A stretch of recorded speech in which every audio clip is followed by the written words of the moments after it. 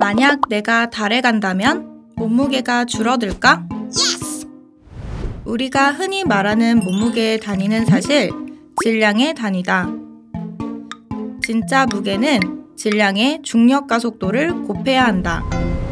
즉, 지표면에서 지구가 물체를 잡아당기는 중력의 크기가 무게가 된다. 달에서 무게를 잰다면 달의 중력 가 속도는 지구의 6분의 1. 600뉴턴이던 내 몸무게가 달에서는 100뉴턴. 내 질량은 그대로지만 무게는 가벼워지게 된다.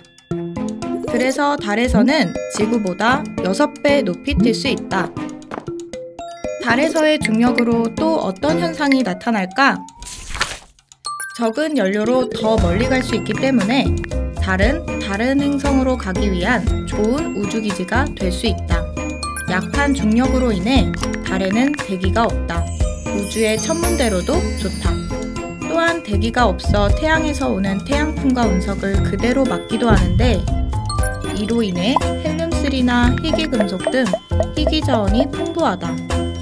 그래서 다누리는 이런 달 자원과 향후 달 착륙선의 착륙 후보지 등을 파악할 다양한 탑재체를 싣고 간다.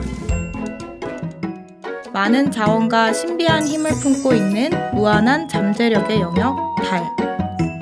다누리를 통해 달의 비밀을 더 많이 풀고 오기를 기대해 본다.